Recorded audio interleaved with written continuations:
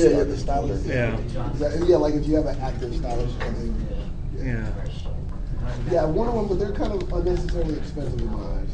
Yeah, I, I just found a good um, art stylist that can do good fine lines and stuff as well. I have So this, um, this is the other one that I use because this is this like really cool uh, Autodesk.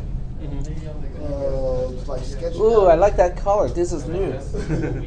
Usually it's kind of like grayish blue, but today it's like mm, what is this? amber.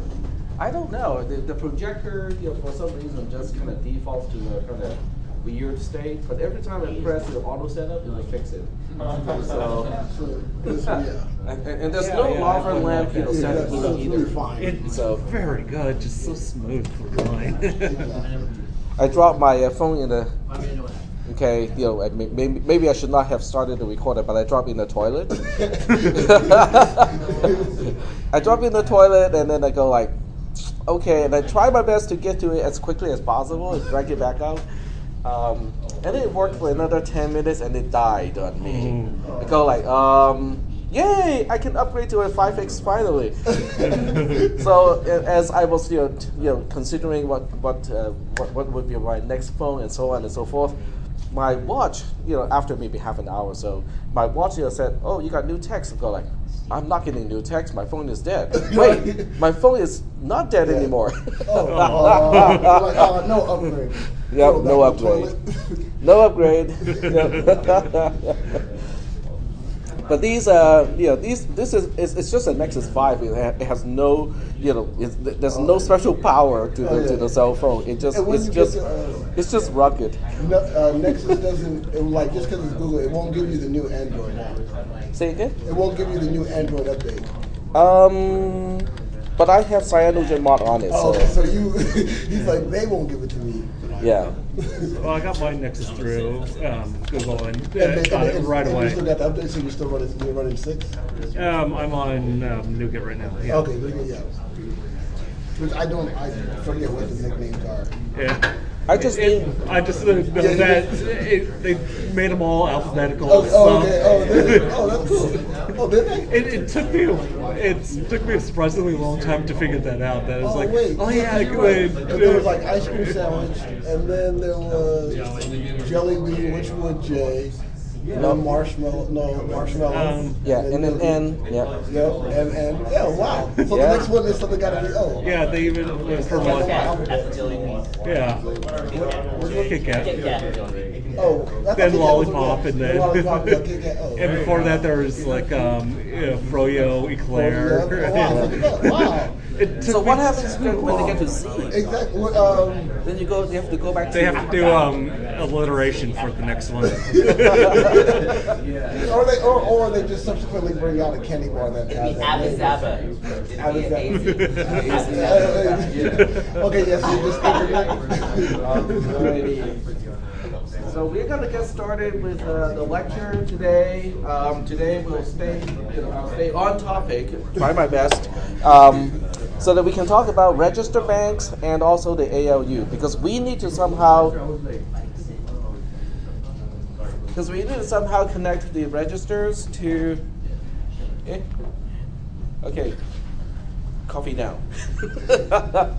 we need to somehow connect the registers to the things that is doing the calculation. So that's that's the first thing that I want to do is to connect you know, those things together. And I'm not even going to bother with a true ALU. In other words, you know, the only thing I'm going to consider is okay, let's just use an adder. Okay, and I'm not even concerned about the carry in. So in this case, I'm just going to put a zero, a constant zero, into the input of the carry because I don't need to use it, but I don't want to leave any input unconnected, right? So we do, we'll change it to a zero. But we still have two, three connections that are really important. In other words, what, what two numbers am I adding, and what am I doing with the output or the sum? Okay, so those are the questions. Um, and we want to do everything with registers at this point. I'm not interfacing with memory just yet because that's a little bit longer, it takes a little more work. But registers should be fairly easy to deal with. And how many registers do you think I need? Or at least how many? We need at least two registers, right? Because we need to, we need to, we need two numbers to add, okay? And then we need to store, but we can store back to one of the two numbers, you know, that provides the values. So we need at least two registers. Yes? Are you recording? Um, that's a good question. Yes. Mm, yep, yes. Okay, you, you have to look at the recording tab because the input devices is really just showing you what the, what the devices are seeing, but the recording part is telling you which process is hooked up to the input devices. So this is really good. You know, I, I don't know whether Windows has anything equivalent to this, but this is really helpful because I can actually change on a per process basis, you know, which input or output device is connected to when the application is still running. I can just switch it on the fly. So it's, it's really handy in many, many ways. Okay, but this is showing that the process, uh, FFmpeg, which is the utility program that I use for screen recording, is in fact getting you know all the uh, audio signals. So this is good. All right. So getting back to this, but the more registers, the better, because the more registers you have, then the more storage you have for temporary results when you're you know doing calculations. With two, it's kind of like a minimum, but you would, ideally speaking, having more is even better. The Intel processor has, you know, basically, depending on which instruction set we're talking about, if we're talking about the original x86 instruction set, it has, it doesn't really have that many uh, general purpose registers, maybe eight or so, okay? So it requires three bits to specify one of those uh, eight. Okay, so the next thing I'll do is I'm going to slap, you know, like a whole bunch of registers onto this particular design, and then we'll see how to, you know, specify which one to supply their output as the input to the adder. Yes? Are you recording the screen? Um, yes, I am. And I can check that too, because I can actually play the file as it is getting recorded. So I can do a VLC 2016 0930. And of course, it does get a little bit, it gets slightly confusing, right? Because, you know, we are mm-hmm. looking at a recording that is still happening as we speak. But it does, it, it does work. Are we in the future? 2030? Unfortunately, the recording cannot show me the future. I wish I could. Then I'll just go look up the stock, you know, ticker and know what the stock to buy. but I will still be teaching this class, even if I can, you know, become a rich person. But not as rich as Trump. Rich in a different way. Rich in a different way. Okay, so we're gonna um, put a whole bunch of registers into this thing, and then we'll try to figure out some mechanisms so that we can specify what goes into the first input of the adder, what goes into the second input of the adder. So let's go to um, the memory tab, which is where the registers are located. Okay, so we basically just say, okay, let's slap just four of these. Okay, I'm not gonna go too crazy on this. Oh, no, no, I don't need that connection. Go away.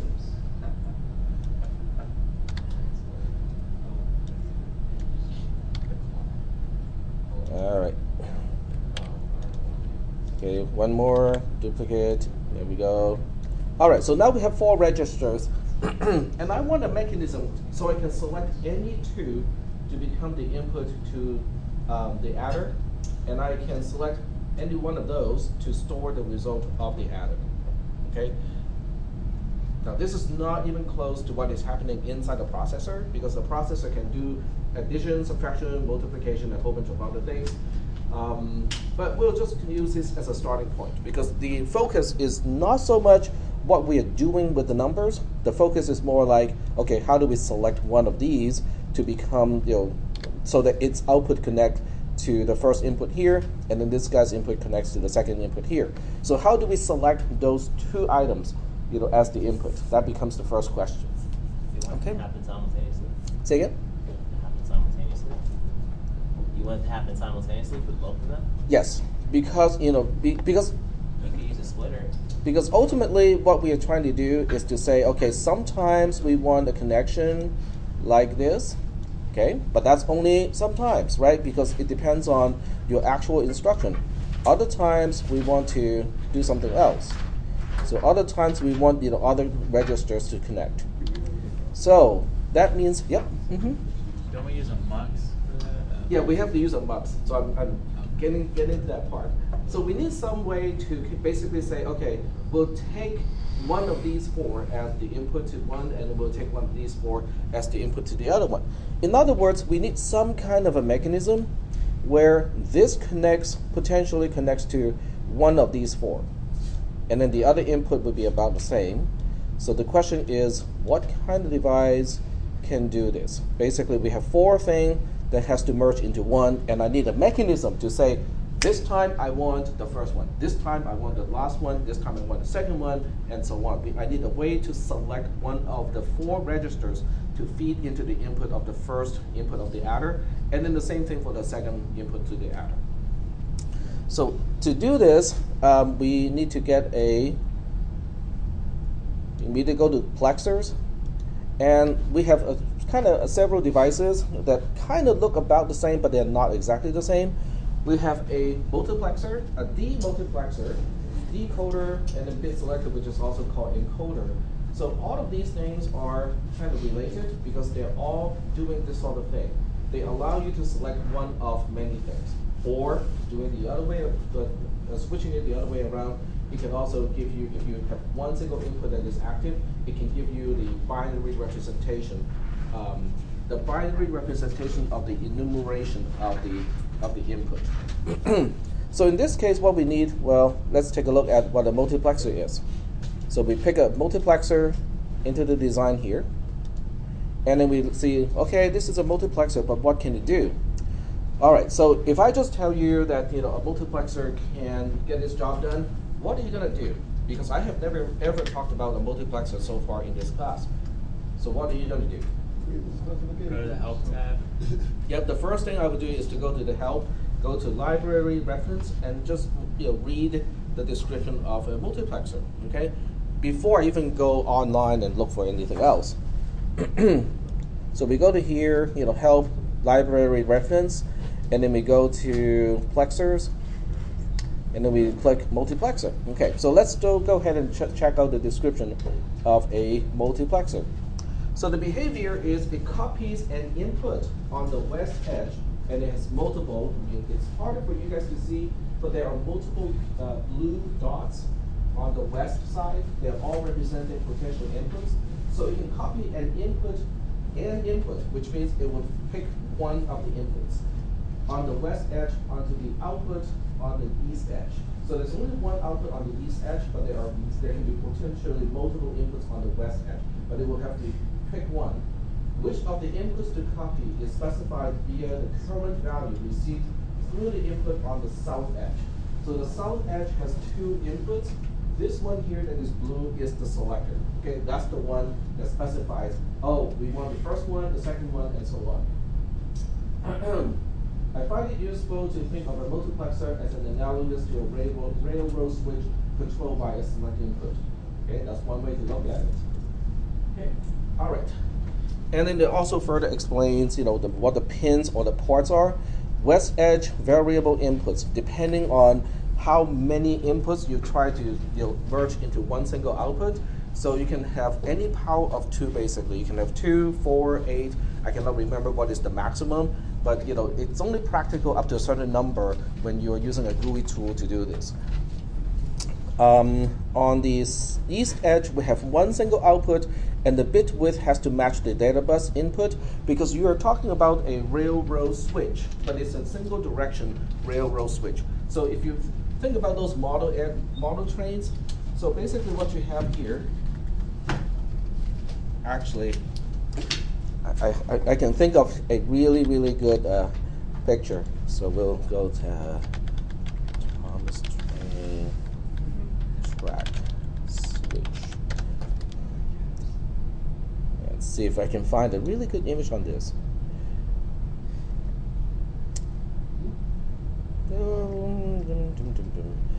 It's more like this kind, but you can you can select which one. So this is probably a good one. Okay, the red one here, because you know by pushing the pin you know this way or this way, you can select you know which input track connects to the output track. Okay, but you have to remember this is a single direction, which means you can the input is the part that has multiple lines, and then the output is the one part that only has one line. Okay, a, an actual railroad track is not monodirectional or unidirectional, but in this case, in electronics, it is unidirectional. Are we doing okay so far? So you can kind of imagine that we can, if, you if you put two of these things together and have a third one to merge the output of these two, now you can select one of four tracks. And if you replicate a design, you know, to another one and then have another switch at the end, you can do eight and so on. So you, there's- a way to stack these things so they can have you know um, a multiple input into a single output, and not just two into one. okay. Now that is obviously not a very efficient way of doing it, but it's a tricky way and say, okay, if that's the only thing you're given with is a two to one multiplexer, how do you make an eight to one multiplexer? Well, we just stack a whole bunch of stuff and make it work.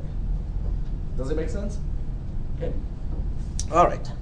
So getting back to, I was actually hoping to see the uh, the video of you know Thomas Train, you know, getting onto the the carousel, getting back to its uh, home. Okay, you guys are not getting it. You're, you're way too old and way too young at the same time. You're way too young to have kids to watch Thomas Train, and you're too old to watch that show yourself. My kids watch Thomas Train. saying, you, You do? Skyrim, Okay. My kids do. Yeah. it's one of the more educational and um, kind of really well suited to children kind of show. Huh? Do you mean that blue thing? Yeah, with, Yeah, the, with the Tommy creepy the looking face. Sorry? Do you mean that blue train thing with the pretty Yeah. Uh, Yeah. Thomas is blue, um, but you know there are different colors as well. You know they have different kinds of trains too, not just steam engines anymore. But the diesel trains tend to be the evil ones, bad ones, except for one of the diesel trains. I think there's one who's actually blue. I still remember. Yeah, that's from years ago. Okay, the south edge, you know, right here, the south edge indicated by the gray circle input bit, it, gray circle input bit width matches select bits of the attribute. So with eight inputs, we'll need three over here to select one of the eight inputs. Okay. If we, if I have 16 input, then I need four bits here to select which one of the outputs. And then there's one more thing here, south edge, right side, input bit width is one, that's the enable. In other words, um, you can merge all of, all of the out input into one, but you, you also have an extra control bit to say, should the multiplexer be driving the output? So you have the ability to say, not to drive the output, or you can say, okay, now drive the output. That turns out to be really quite useful because it means multiple multiplexers can connect to one single input line of something. And by selecting which one has the output enabled, you can actually say, okay, you can make sure that there's no bus fight and yet you can simplify the circuit significantly because of this. All right. So the first thing we'll do, you know, after reading all this stuff here, is just to just play with that, okay? You know, just to play with a multiplexer and say, okay, do we know what a what what it does?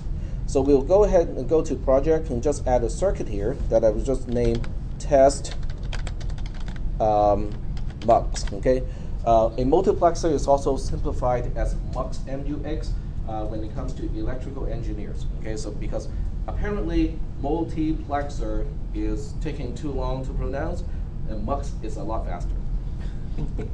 So it's also called a mux, and a demultiplexer is called a demux, by the way.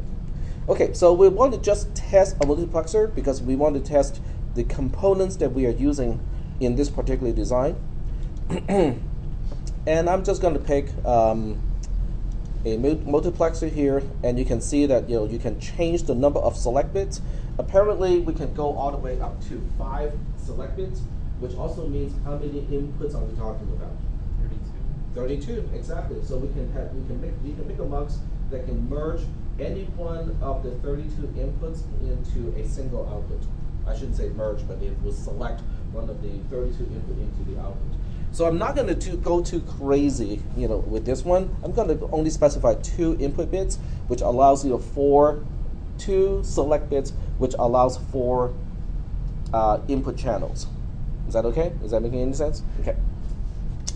Um, disabled output is floating, which means it's not driving.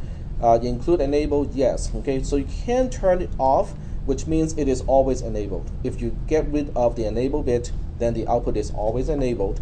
You, if you say yes, then you are you have the choice of whether to enable the output or not. Okay. All right, so we'll enable all of these things, and then we'll hook up some inputs. So there will be four inputs, each one matching the width of the of the mux here. And to make this a little bit more fun, we'll select, we'll have you know, four data bits instead of just one. And we have to make sure that our input pin matches that as well, so four here. And we'll make four of these things. One, two, three, four. There we go. Oh, there's one too many. All right, so we'll hook up these to the inputs of the mux.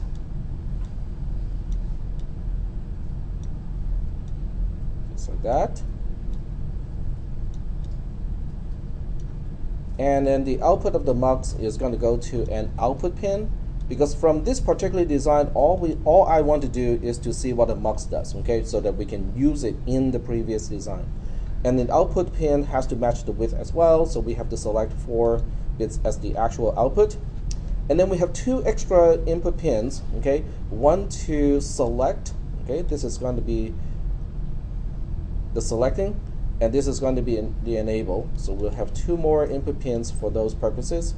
This one is easy, it's a single bit, but this one here has to be a two-bit input because we have to specify any one of the four inputs. It will take two bits to select one of four. Alrighty. Okay, so now we have a design all done, and let me put some initial values into the input pins. So just kind of random stuff here. Okay, the way I put the ones into here is not particularly meaningful. All, I'm, I, all I want to do is to make sure they're all different. That's the only thing.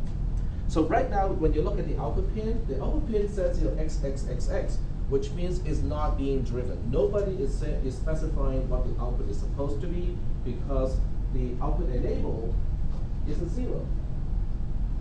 So the mux is actually selecting the first input, which is the one that has the value of 0, 1, 0, 0. It is already selected, but it, it is decided not to let the signal pass through so that nothing is driving the output, and as a result, the output pin is reflecting that and say XXXX, which basically means it is not being driven. Nobody is specifying what it is supposed to be. Are we doing okay so far with this? So that also means if I turn on the enable, turning this 0 into a 1, then we should see 0, 1, 0, 0 over here. So let's check that. Okay, sure it. Yep, there you go. All right, so now how do we change uh, the, uh, the input? How do I select this 0011 as the, as the input being selected? Make it one. One, one, to the zero. Well, we're counting from zero. Yeah. Remember, we're counting from zero. So the first one is actually zero, zero. The next one is Yeah. zero, one. So the one that I that I'm highlighting right One now, zero. the one that is green, that I put a finger on, that one is One zero. one zero. Okay. So let's go ahead and change the select bit to one zero, and then turn on the output enable. And now the third input is becomes the content of the output. Are we still doing okay so far with this stuff here? Okay. And can you guys see how this may be useful in our design? Where I have a whole bunch of registers, I need to specify which one becomes the input into the adder and which one, and just that first, okay? We're not even concerned about storing it back just yet. Is that good so far? Okay, all right. So now that we are done with this sub-circuit, we are going to go back to the main circuit and say, okay, we know, you know, we need a mux here, okay? So we will just go to the mux and we specify two bits as the selection and then the data bit is going to be 8 because that's the default for the register as well as the default for the adder. And I'm just going to put one right here. Make sure that the, we have a connection. I'm just going to move it around a little bit so that I leave some space for the other one. There we go. And these four would just become inputs into here, here, here,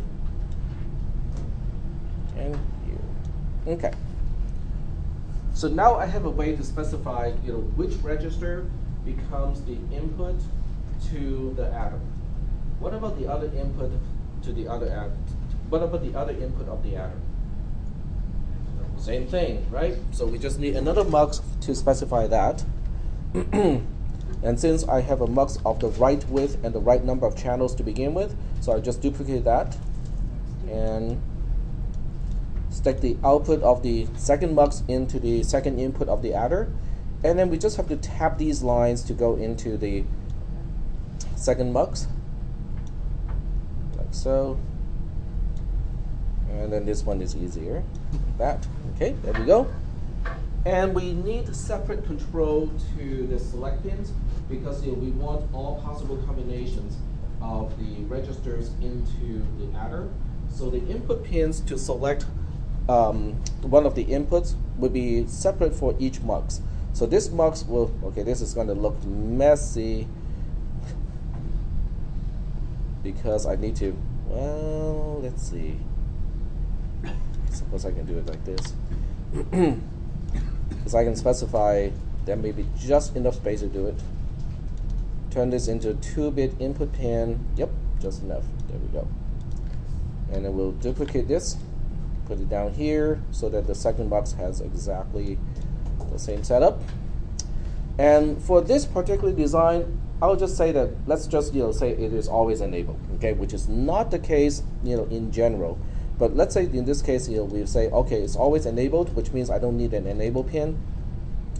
So we get rid of the enable pin, okay, it's always connected. And now we can get rid of this thing here, okay. So now we have a design that's almost working. So we want to test this first. So we want to um, connect the output pin, an 8-bit output pin to the output of the adder to basically see, okay, is this working, okay, at this point?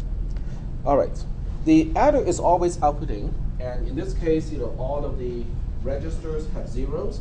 So right now, when you look at the first mux, it is selecting the first register as the input to the first input of the adder, which is zero zero, which is zero. And then the second mux is also selecting the first in, first register as the input to connect to the output. So that's why we are well we, are, we have zero plus zero regardless because all the registers have zeros. So let's go ahead and change things a little bit here just to make it a little more fun. so we'll go ahead and change this one to um, let's say you know 7e change this one to d1 and then change this one to um, 9.2 and okay so I'll leave the first one as 0 0 because that's basically why we are seeing 0 as the output of the adder because we're still adding the first register to the first register and the first register has a value of 0 0 plus 0 is 0 so let's see what happens when I try to add the last two registers. So I want to specify the register with the value of D1 and the register with the value of 92 as the input to the first and the second input of the adder. How do I make that happen? Keep the first one zero. You said you want to add zero zero nine two. No, I want to add D1 to 92. Then it's So this one is going to be one zero. 1 0. Uh huh. And the other, the other one is 1 1. And you can see the moment I change the select bit, the output of the adder changes. Is that making any sense? Okay. But I want to check the output. Does it make sense? Okay. Is the adder actually working correctly? Am I you know, picking the right inputs into the adder? So I need to do a sanity check on the output. It is specifying 6, 3 at this point. And the way I read this is once again we chop the bits into chunks of 4 and then every four bits is one hexadecimal digit. And in this case, it doesn't really matter whether you read from left to right or right to left, because it only has eight, which is a multiple of four. But in the case that you do not have a multiple of four bits, then you should read from right to left and then pad zeros to the left hand side. Okay? But in this case, it doesn't really matter. So the first four, or the left four bits, specifies a six, and then the right four bits specifies a three, which is six three. And then you do some quick calculations by hand, and you say, okay, we have a D1 plus a 9, 2. What should we get? Okay, 1 plus 2, easy. That's a 3 with no carry. So now we have a D plus 9. A D is basically a 13, and a 9 is a 9. So 13 plus 9 is 22. 22 cannot be represented by a single digit in base 16 because in base 16, a single digit can only represent up to 15. So we have a carry and say, hey, you have to take care of the 16. So out of the 22, the 16 is taken care of by the next digit. So what is left for me to take care of? 22 minus 16 is 6. So 63 in hexadecimal is in fact the correct result. So I just did a quick sanity check to make sure that you know, the circuit does work the way it's supposed to. Are we doing okay so far? Okay. All right. So now we want to take the output of the adder, and then we say, I want to hook it up back to the registers because I want one of the registers to store the output of the adding. Okay. Not too concerned about the carry out at this point. I just need the output of the adder to go back and update one of the registers, one of the four registers. What should I do in this case? Would a mux be helpful? A mux has multiple inputs, one single output, and it selects one of the input to become the output. Hmm. In this case, we have kind of like a opposite scenario, right? Because we have one input, which is the output of the adder. We have four potential outputs into the D port of the registers. So now we have to say, okay, how do we pick out which one? So you want to do what? You want to take one and split it out into multiple. But it's actually easier than that. Okay, so I'm gonna do this using this way, and then you guys will go like, what the, what am I doing? What, what are you doing here, tap Because it, it has to do with one, well, two things of registers that I can actually exploit here. Okay. Now, the other thing I want to do is to make sure that none of them are getting zeroed out. So I'm going to attach this zero to all of the reset lines of the registers because I really don't need it in this design. So I'm going to, ah, Oh. so I'm just going to hook up all the zeros to, Does it work this way because registers have uh, the clock mechanism? it has select- both the clock and the enable line. And then Mm-hmm. All right, so I'm going to hook up all the reset lines so that we don't. Remember, I don't want to leave any input lines, you know, or input ports unconnected, and I'm hooking everything up to zero just so that I don't accidentally, you know, clear the content of the registers. So when you look at each register, I still have two input lines that are not connected yet. So I need to hook up the clock line.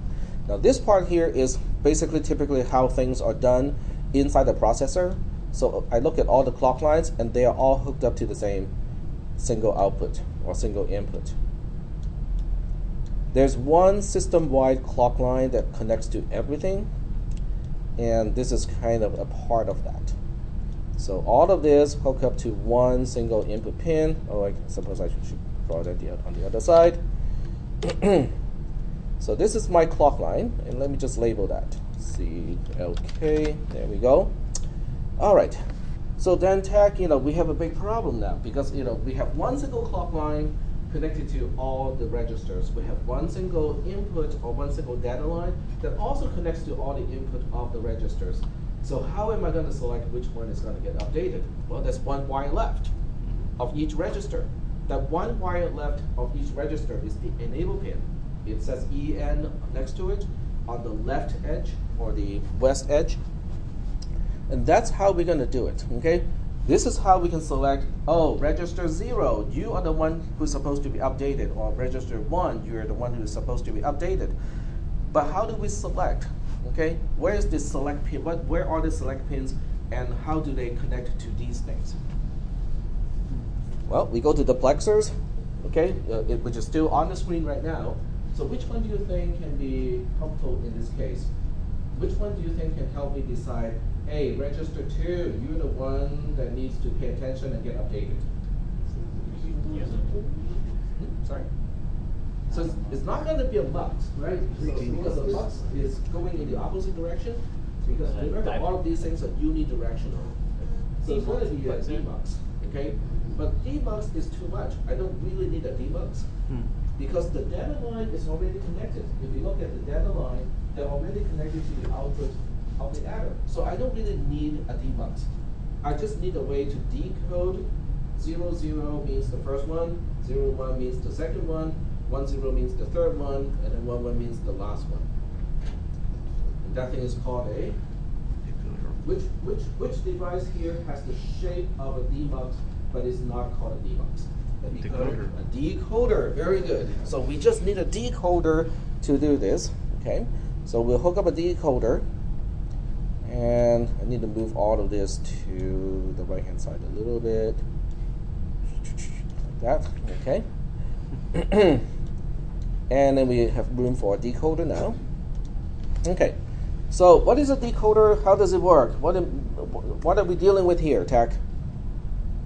Uh, reference help? Reference help. Okay, so we go to the library reference, and then we go to a decoder, and just read a little bit about it. So the behavior or the general description of a, de- of a decoder is emit one, okay, the, the signal of one or high signal, on exactly one output out of multiple. Which output is a one depends on the current value received through the input on the south edge, which is our select pin. In other words, it's almost like a demux, which is the reverse version of a mux, except the output is always a one. Which is all I need, because I just need to select which register has an enable of one. Okay? All right. So when you go back to this design here, I need to change it a little bit because I have two select pins so that I can specify any one of the four outputs to be one. And you have to remember in this case, one and only one output will be a one, the rest would be zeros. Okay, that's how a decoder works. And then the pin here, this pin with a gray circle on top, this is the one that tells me which one of the four output is going to be the one, where the rest is are going to be zeros. Okay. Okay. So that means. So that's our selector, that's our selector pin. Hmm? That, that gray one is our selector pin. Yes. So this, so these pins basically just connect to the enable pin of the registers, and it's still in blue because the output enable is off. You missed the top one. Eh? You missed the top You register. skipped the top one. Ah. Top register. Okay. Thank you. Um, nope. Okay, it's better to draw it this way, so I don't. Uh, mm, no. There you go. Yeah.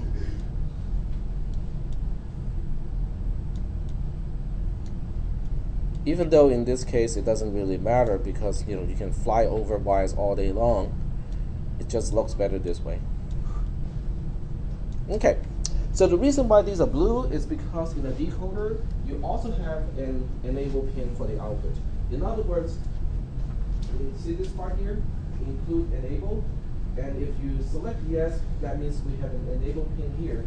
If the enable pin itself is off then no one is going to drive any one of the output in other words at this point the outputs are not even driven high or driven low which is not good because I don't want anything to be not driven to the register's inputs so I probably either want to hook up the enable pin to something that's always on, or in this specific case, because I'm not actually using it for any purposes, I'll just turn it off.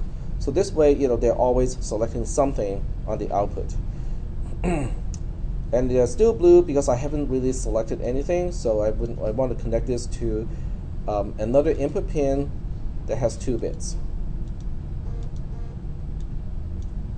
And you can see that now your one is asserted to be a one, and it's the first one because you know it is zero zero as the selected into the decoder, and as a result, you know zero output zero is now asserted, but everything else is are zeros. Is that okay so far? Okay. So if I want the result to be stored back into um, one of the registers supplying the content, let's say we want you to register one zero, then we can just say, okay, one zero over here. So now I'm selecting the same register that supplied one of the values that we are adding to also store the result of the addition. This is the typical thing inside an Intel processor. Um, when you when you are specifying the add instruction, one of the sources will also be the one storing the result of the result of the of the addition. Is that okay? Yep. How do you prevent it from re-adding and then Um, going into like a loop? That okay, that's a very good question. Let me just kind of repeat the question so it's recorded. So how do I make sure that this this doesn't get into a loop of you know okay I'm adding and then the result is reflected right away into the output pin. It feeds back into itself, then it gets updated again, and then we add again. This is all because the update of a register is edge sensitive. So only on the rising edge it's going to change, but once it changes, it's locked in place. It doesn't change anymore until the next rising edge. Is okay? All right. So let's go ahead and give it a try. Okay. So we say it's clock. The clock is low right now. So the moment I click it again, which will generate a rising edge, then D1 should be changed to 6.3 to store the result of the addition. But at the same time, because the output changes right away, this would be this would become a 6.3 plus 9.2, which is something 5, okay? So we'll observe that. Click here. You can see this is updated to 6.3, and this one is definitely a 5 because 0, 0, 1, 0, 1 is a 5. And this, in fact, is a F5 because we have 1, 1, 1, 1, which is F, and then 0, 1, 0, 1 is a 5. So the circuit does work, and then we clock, you know, because it's called a clock signal, you know, it is usually, you know, going in a particular cyclic way. So are we doing okay so far with this circuit, or are there any questions about specific components? Yes?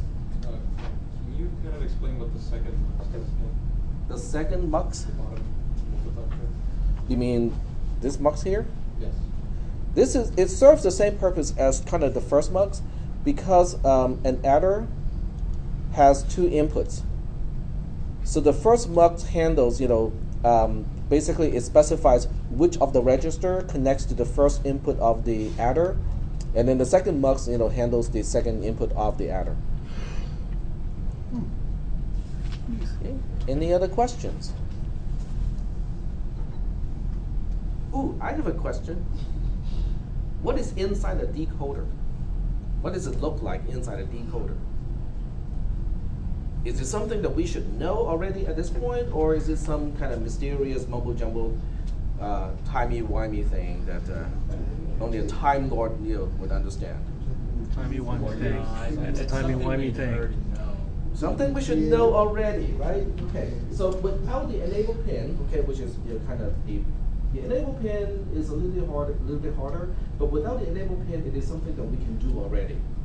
Okay. Did we use like a splitter? Yeah, it's like a splitter. It's not a splitter. A splitter is not conditional. In other words, a splitter is really just physically you're splicing a bundle of wires into individual wires or combining individual wires into a bundle, which in this case is not going to be helpful because we, we, we need the function of a, of, a, of a switch and say, okay, only you are connecting, only you are connecting, or in this case, you know, we are only having one single bit to be, to be a one, and all the other bits are supposed to be zeros. Yes. But can't we use a splitter with AND gates? Yes. Yeah. Not quite a splitter, but it, but yes, AND gates. Mm-hmm. Okay, so we want to look we want to look at this specific decoder and say, can we implement this using our own logic stuff? Okay, instead of draw, instead of using the library component, can we make a decoder? Okay, so let's go ahead and do that. So we add the circuit and we call this decode 2x4, which means we have two select pins, four output pins. Okay. All right, so let's see how we can do this. And we'll start with the number of input pins. Okay, so here we have two input pins. So I'm not using a splitter to split a two bit wire into two bits. You know, we just specify two individual input pin input pins. And then we have four output pins. One, and then duplicate, duplicate, duplicate. Okay. So we got four output pins, and let me just go ahead and label the output pins. So the first one is out zero, out one, out two, and out three. And then the select pins are labeled as cell or select zero and select one. Now the um, yeah, go ahead. Uh, which would be the most significant bit here? Cell zero or cell one? Um, cell zero is the least significant okay. bit, and then cell one is the most significant bit. In other words, the, the number indicates the bit number of the of a multi-bit value. All right. So what can we do here? When both of these are zeros, I want this guy to be an output. When we have a zero one, we want this to be a one and everything else to be zeros. When we have a one zero, we want this to be out. When we want this to be a one and then everything else to be a zero. And then when we have a one one, we want the last one to be a one and everything else to be a zero. Hmm. We just need a bunch of AND gates with potentially negated inputs, right? We only need four and you get Four and Yeah, four AND gates. Yep. Well, hmm. it is a bunch. Lovely bunch of ant gates. because it's more than one. It's a bunch. Okay, so we go to logic. Okay, we go to gates here, and then we just specify AND gates, and, and we don't need a big old AND gate here. We just need one AND gate with two inputs, and we can make it a narrow one so it doesn't take up as much space. And we need four of these. Okay, so we just say let's make four of these things. There we go. Okay, the last one is the easy one because the last one does not need anything negated. We need because because we want one one as select bit to turn on out three. That's an easy one because they just they don't need be, they don't need to be negated. Okay, so I'm gonna hook up this wire here, non-negated. Hook up this wire here, also non-negated, and hook up the output of this to out three, and we test it. Okay, so we go test it. If both inputs of the select bits are ones, ah, out three is out is it is a one. Excellent, we got that working. Okay, what about the first one? The first one is supposed to turn on Negated, negated. when both inputs should be negated, right? Yeah. Because we want out zero to be a one when cell zero and cell one are both zeros. Okay, so when, when you have a regular NAND two gate, excuse me, not a NAND two, a regular AND gate where both inputs are negated, it will accomplish what we need to do.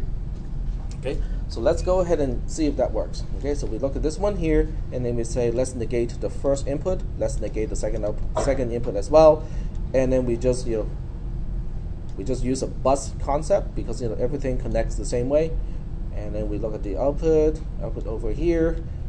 This is okay. This is correct because when the if select input is one one, it's supposed to be off but it should turn on when I when I turn when I change the select pins to zero zero. Okay, so let's check it out. Aha, that works.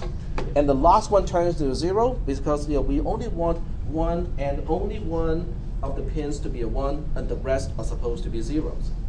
Okay, so these two are the easy ones because both inputs have the same treatment. Okay, because the bits are exactly the, the same. So let's look at this guy here, the one in the middle here. This is supposed to turn on when select 0 is a 1 and select 1 is uh, 0. Okay? Select 0 is a 1 and then select 1 is a 0. Yep. So what we so we're gonna negate the second one and keep the first one non-negated. So we'll go ahead and negate the second one. And I'm gonna hook up the wires the same way. In other words, you know, this wire is always going to the second input and then this one is always oops ah nope the other one goes to the first one hook it up like this let's test it okay so we want to say 0 1 ah this one is a 1 and everything else is a 0 so we're almost done. Let's deal with the last one which is really the flip side of the first of the of the one right above that. So with this one we want to negate the first pin and leave the second pin non-negated. So we'll draw the connections here. So we got one here, and then we got one here, and ah, it's not aligned. You just drop that, drop that output too? Yeah, you could just drop out two. Yeah, like one level, say one level. What? You just move out two a little lower. Like one level. Yeah, we could have done that. Perfectionist. I'm not, artistic. You know, this is not an art class. If you want an art class, you go take an art, art new media class. No, that's art, just the way it is. Yeah, it's. Hmm? It's fine, I'll go. That's art, just the way it is. Just the way it is. Okay, so we have the whole thing set up, but it's time to test it. How many test cases do we have in this particular design? Four. Only four test cases, okay? So let's go ahead and test all four cases here. Zero, zero, out zero is output is the only one with an output of one. Good. Zero, one, only the second one has an output of one. Everything else are driven, but they are all zeros. One, zero, has output 2 being a 1 and everything else being zeros, and then 1 1 has the last one being a 1, everything else being a 0.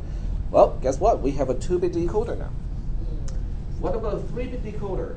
Well, just make this bigger and everything has three inputs. Yep. So how does it now play with the um, enable pin? Now, the enable pin is basically putting a gate on all of these things. So, to do that, you need to have a buffer, and a buffer looks kind of like a No, that's not a buffer. I need a buffer that has a is a gated or controlled buffer. There we go. So this is a buffer, and a buffer is kind of like a it's kind of like a clutch.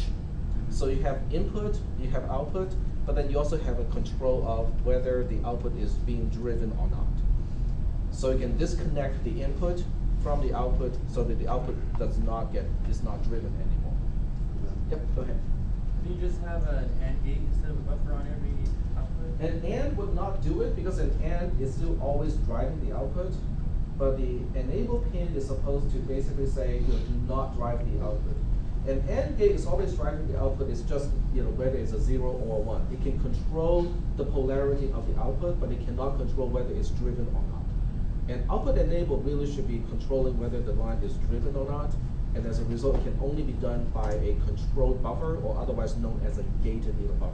Yep, go ahead. So a zero still, Same question? Okay, good. a zero still drives the line? Yes, a zero is still driving. It's just that, you know, because, okay, um, let me answer the next question and then go back to what is being driven, okay? Yep. Um, does this design still work with a single two-bit input? A single two-bit input. Yeah, because right now you have two single-bit inputs. Yes. Does it work the same way with one two-bit input?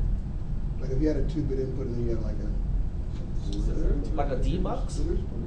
So with a demux, you basically have multiple of these things, but you will be ANDing um, the output with the input. So that way the output is reflecting the actual state of the input. Because when you have a decoder, it's only got one input. A decoder has no input. I- In other words, it's not controlling what input is getting passed through to the output. It is actually just specifying which line of the output is a one. Right. But right here, you've got two input bits, right? Right Yeah, here, so we got two input bits, but they're called selection bits. Right. Mm -hmm. And in your design, he's saying you have a two bit, just one. Here we have two one bits. In your design, you have one two bits. In the actual tool. Right, in the actual tool, but the only difference is, you know, I'm merging these two into a single pin, that's all. Right, so it would look the same. It would work the same way. Okay, I, I, think I understand your question. Let me, let me change the design to, to be, to resemble what we're dealing with, you know, the actual um, multiplexer. Okay, so to make this resemble the actual multiplexer, we would basically get rid of these two pins, okay, replace it with a single input pin that has two bits. But then we'll need to use a splitter to split it into two individual bits. So we go to wiring, pick out a splitter, and split into two exactly. So this would be the least significant bit. It is supposed to hook up to the top wire. Yeah, just put it right there. Sorry? Just connect it right there. This one's okay. Yeah. It's not our class. And then the, the second one goes to the second wire. There he did it. He did it. Here we go. So we, we'll check it. We'll check it again. I think I think that should that just should do it. Zero one, one zero, and then one one.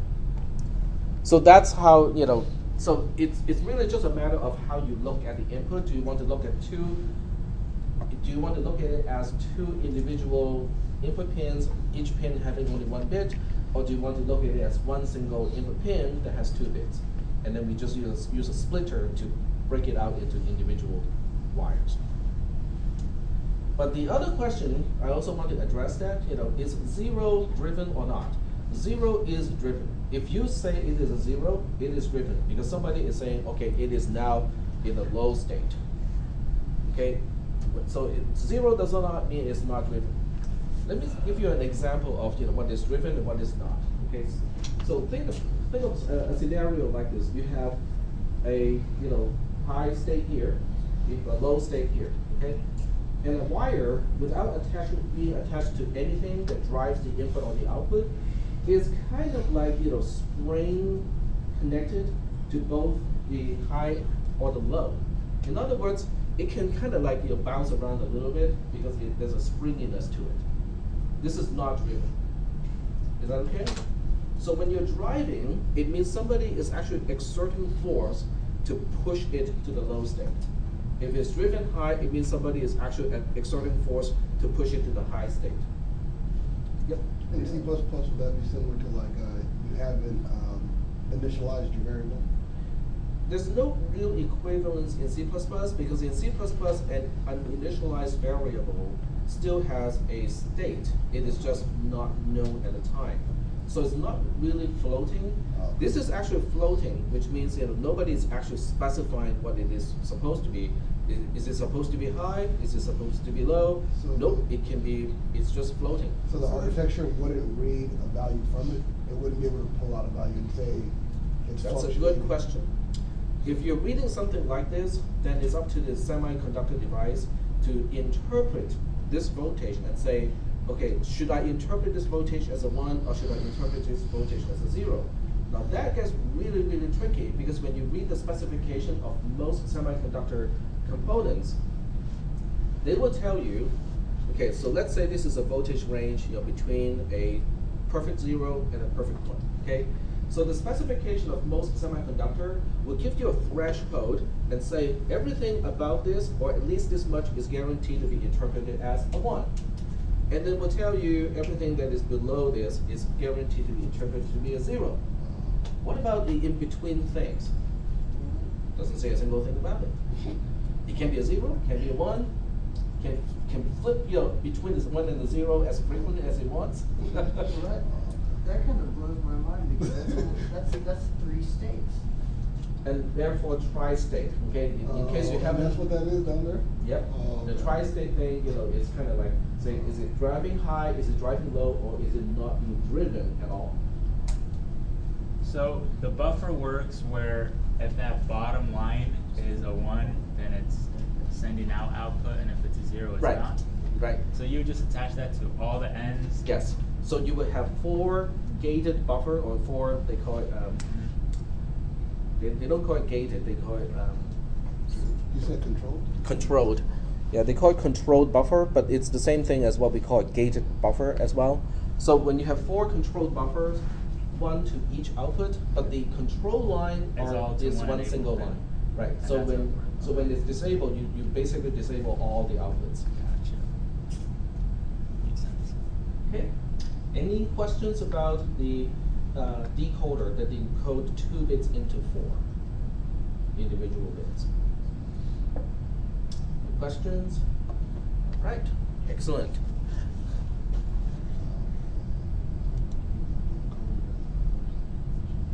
So we go back to uh, the main circuit. Let's go back to the main circuit here. And are there any other questions about this main circuit? And that one's driving. Yep. If you do get the result in the register, how would you use that meaningfully? How do you use the result of a register? Because, Okay. because it's not really going to output. No, because right now we are just dealing with, so we are, I'm designing a processor from the inside out. So I start with the very, very core of a processor, which is the circuitry that actually do the computation. But it's useless just to know how to do computations because we need something to supply the values to the computation and something to store the value of the computation. And hence we have the registers. But the registers, there's so many different registers, we need a mechanism to select, okay, which one should go to the first input, which one should go to the second output, and what do we do with storing the result. So that's what this design is. So all of these eventually will be connected to a larger circuitry where it can interface with memory. So then we can start to store, you know, values into memory, load values from memory to use the computation. And then um, once we have subtraction, we have the capability of comparing. And once you can compare, you can look at the result of comparing and say, should I just move on to the next instruction, or should I go all the way around and go to that instruction over there? So that is where things get a lot more interesting. But right now, all we are focusing on is just, okay, can we do, can we add, can we subtract, can we multiply, okay, and so on. Are we doing okay so far with this? Yes? At what point are we gonna make this useful? Cause I know. It is already semi-useful. it is a part of the huge, gigantic music box that we know as the processor. But at this point, you know, we are only focusing on one portion. We are growing the processor from the, the from the inside out, from the really the core part of it that actually do all the calculations, and we are expanding it out at one step at a time, so that we can say, okay, now that we can do calculations, we can store the result in a register. Can we store a register into memory? That would be the next question. Okay. I guess what I'm wondering, cause I, I'm using your, your analogy of the classroom and, and, I hear you. and, you know, the, the registry being kinda like the- the Okay. papers that you got right in front of you and, Mhm. um, I guess, I guess what I'm wondering is where do the instructions come in? Ah, very good. So, you know, where does von Neumann architecture comes in, you know, into this picture, right? We are, we are not quite there yet because we are, we are looking at things that the processor can do, but we are not quite looking at things that will say, oh, if that memory location is zero one zero zero one one zero zero zero, then we want to add the two register and store that into the third register. We haven't really quite get to the, the decoding of instructions yet. Okay, so we're, we're, we're quite a bit of, of uh, distance, you know, there's some distance between what we're doing here and the actual part where, we, start to we will start to execute instructions. But these are the building blocks. We are making things bigger and bigger and more and more complex uh, with each step. Any other questions? Okay, so I made this one of the homework assignments in one semester. I'm not gonna do it in this semester. Um, and the, the, the project is to make a multiplier, a, a hardware multiplier. Okay, we kind of touched on that a few classes ago, I think, okay? So we want to do it, you know, using, you know, the basic components that we already know, you know, and see how we can do a multiplier. Okay, so before we do that, okay, let me just kind of re-emphasize what multiplication is. And I'm going to use a four-bit multiplier. Okay, so four-bit and four-bit as the numbers to be multiplied, and then the result is going to be an eight-bit result. So let's say you know it is they are represented by A, B, C, D, which is one number, and we want to multiply this to A, B, C, D, E, F, G, H, E, F, G, H. Okay. So what do we do with this addition?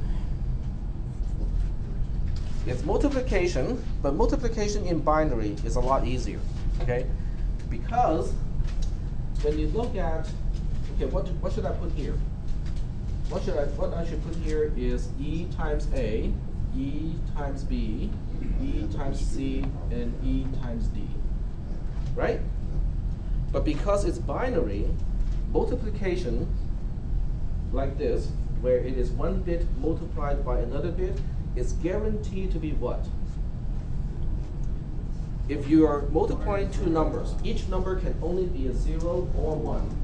The so-called multiplication is otherwise known as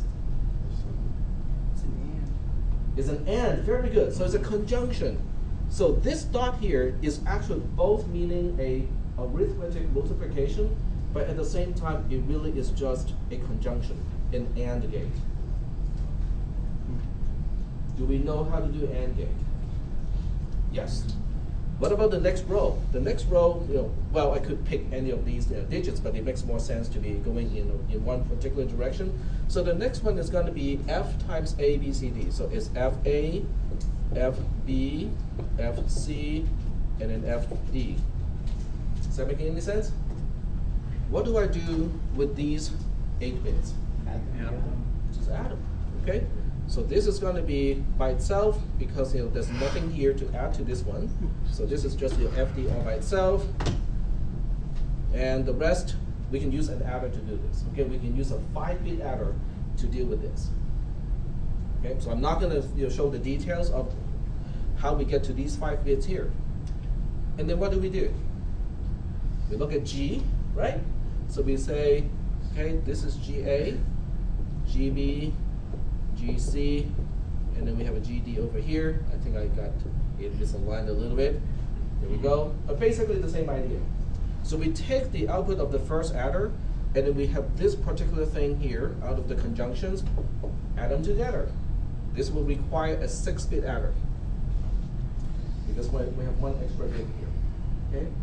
What did we do with that? Well, we have H here. So the final row is going to be HA, HB, HC, and HD over here. And then we have now a 8-bit adder to add all of these numbers together. And then the final result after adding all of this is going to be the product. So by combining the use of conjunction or AND gates, because we need the AND gates here, and also the use of adders, which we already know how to do, we can now make a multiplier. Is that okay? But is this any different from how you do calculations, how you do multiplication longhand in base 10? Mm. It is different, this is easier. because in longhand multiplication in base 10, you don't you cannot use a conjunction, you cannot use an AND gate to do with these these numbers here. Because you actually have to look up the multiplication table in your mind to deal with these individual multiplications. But in base 2, the multiplication table is trivial. There's nothing to look up. So how would we apply an AND gate to that? Well, let's go ahead and make it, shall we? Yeah. So let's make a 4-bit by 4-bit hardware multiplier, okay? So let's go ahead and say, add a new circuit. We'll call this a 4 by 4 multiplier. Okay. So we'll start with a 4-bit input. Now, whether you want to turn these into individual bits or not, you know, I just like it to be a 4-bit input and then split it later on. So we have two of these as inputs. Okay. So I'll call the first one X, which is one of the inputs. The second one Y, which is the other input. Okay. And we know that we have to split this into multiple things. and then we have to remerge stuff. Okay. So I'm not too concerned about you know splitting it at this point. I look at this picture, okay, and I say, okay, we need to access individual bits of ABCD and then multiply it by E. And it looks like they're doing the same thing to F, to G, and then to H. In other words, I'm using one bit of one number to AND with all the bits of a second number. And we have the same thing happening over and over again. Okay? In other words, if I were to do this you know, individually, I would probably have to copy and paste a few times. Is that making any sense?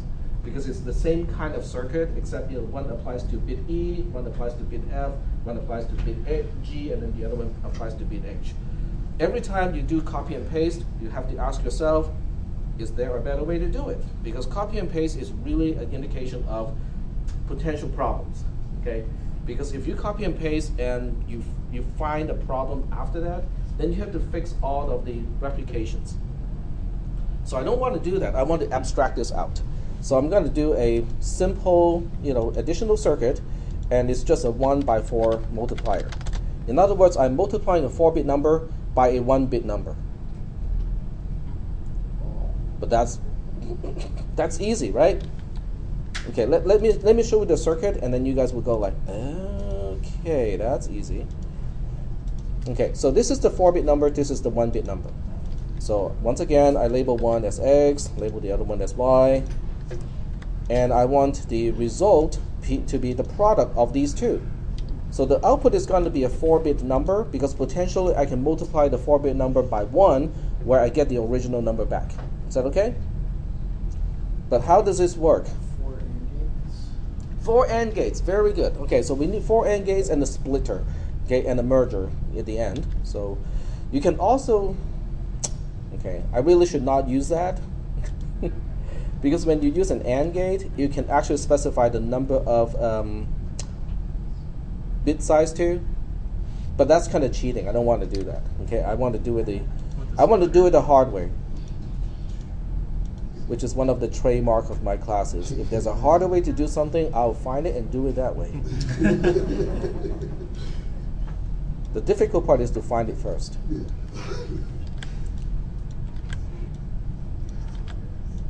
Usually, I lose about you know, 25% of the class the moment I say that. It's like they, all, they all flock and walk out of the classroom. Okay, so we have four adders here. Okay, I mean four uh, AND gates here. So the first thing I need to do is to split this into four individual wires. Okay, so we go to the wiring part, pick out a splitter, and we need a four-way splitter. So we need to we need a fan-out ratio of four. But first, I need to change the number of bit width to exactly four, and then we say, okay, we want to fan out of exactly four because each bit is important in this case. So this one is easy. I don't need to do much about that. I'm just rearranging things so that it would look semi-decent when we look at the actual picture. So this one goes all the way to the bottom here. This one goes to this one. That one goes over there. And then this one goes, oops, here. And because they're being multiplied by the second number, which is a single bit number, so this one single bit just goes to all of the second input of every single conjunctions. So we multiply everything by that's by the second number. Then we just need a merger, which is the reverse version of this splitter. So we just duplicate this, move it over here, change the phasing. So now it faces west. So now we can merge the four outputs back into one. I just have to be careful and make sure that the bit zero matches bit zero here because I don't want that to flip. Okay, so we look at this, and then we look at that, and we hook up this, hook that up, and oops. Okay, looks ugly, but I'm gonna just let it do it. Okay, fine. Okay, let's check it. Okay, so let's test this. Zero times zero is zero. Does that make sense? Sort of. How about zero times uh, one oh one zero one? Is also a zero. Seems to make sense. How about one times one zero one? I'm getting one zero one back. Seems to work. Okay. All right. So we have a sub-circuit working now. So now that we have a sub-circuit working, we can go, go back to the actual multiplier and say, okay, what am I going to do with these you know, sub-circuits? How many of these sub-circuits do we need? Potentially we need four, but we can do away with three because the last one, well, actually, I take it back. We, we do need four because we need to multiply each bit by those things. So we need four of those things. So we look at these multipliers and then we say we need four of these. Okay, so we just duplicate, duplicate, duplicate, duplicate. And you can see I'm putting things all over the place because I just want to put all the things that I need on the screen first, okay, and then I'll find a way to arrange all of these things. What other components do I need? We need a add- We need adders, okay? How many adders do we need?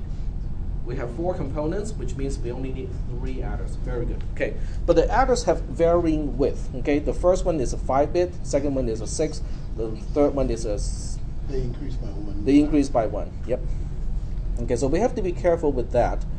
So we need some adders. Okay, so I'm going to pick out some adders here. I may not be able to be able to. I may not be able to finish this today. We'll see how far we can go.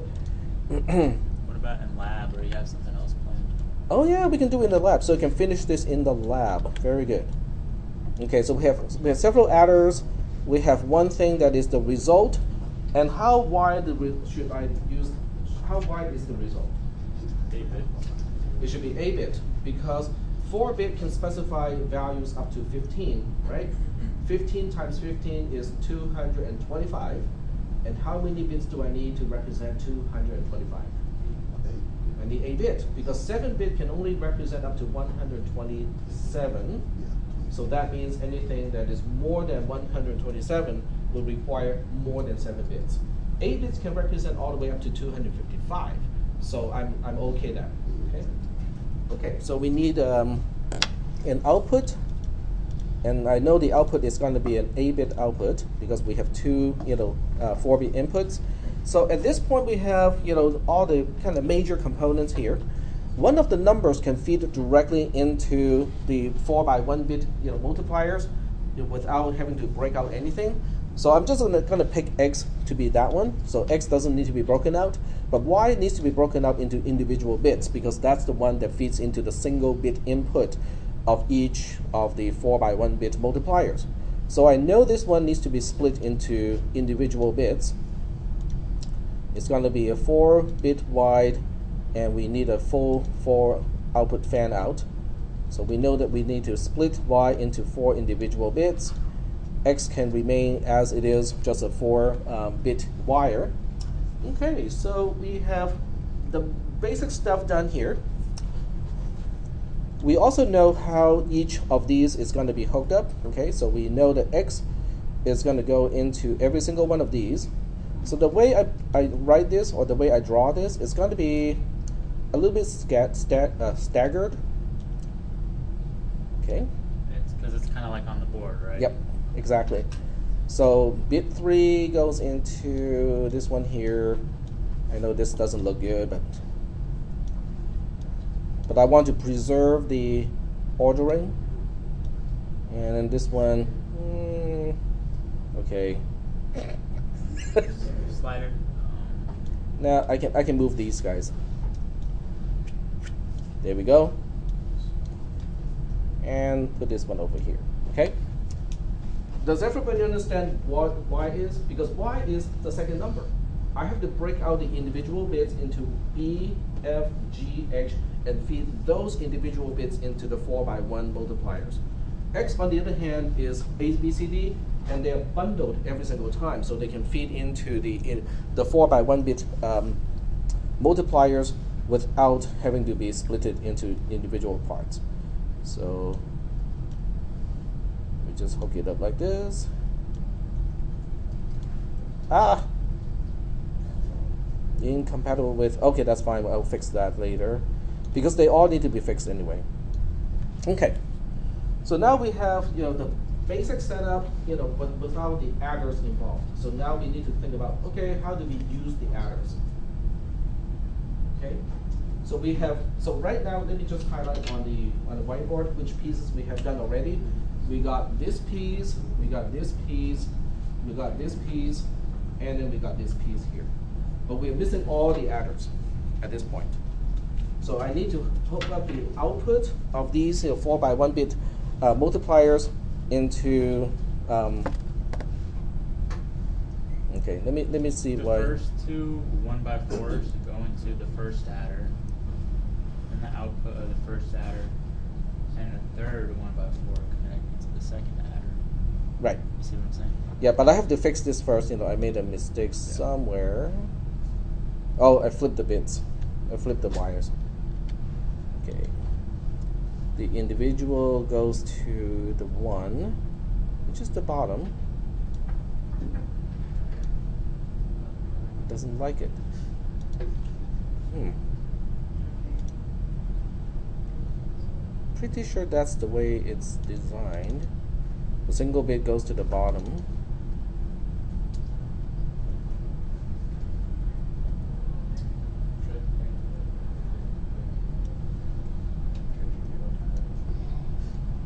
Well, in, okay, this is also a good way to illustrate how to troubleshoot. You know, when you encounter problems like this, what do you do?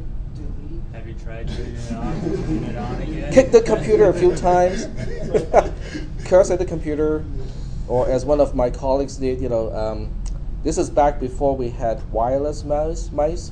So he threw the mouse across the room. Oh, that's not good. Very good. Yeah, I think code rage is not going to be very helpful here. So what do Oh, you no, no, do? right okay, so this You is screwed up right there. Huh? What?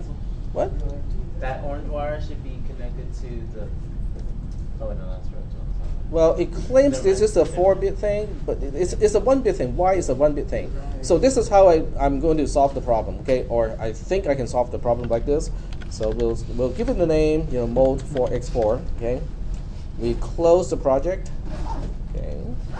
And then we go back. Never come back. Problem solved.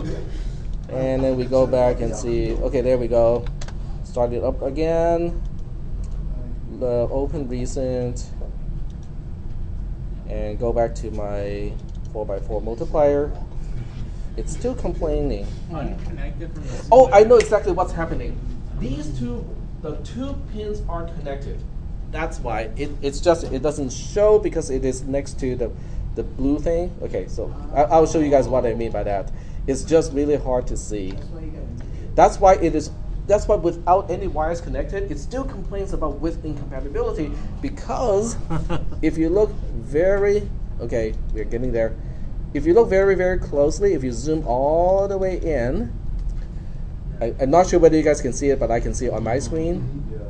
Is these two pins are actually connected? Oh, yeah, they're- they're- So that was a that, that was a snafu. Okay, now it's much more obvious. So no wonder. Okay, so now that I know what the problem is, I will mm-hmm. continue this, you know, in the lab. Okay, so for those of you who want to kind of follow this, you can go to the lab, and, and the best part is you can keep asking questions, you know, when you're there. So I'm gonna stop the recorder here.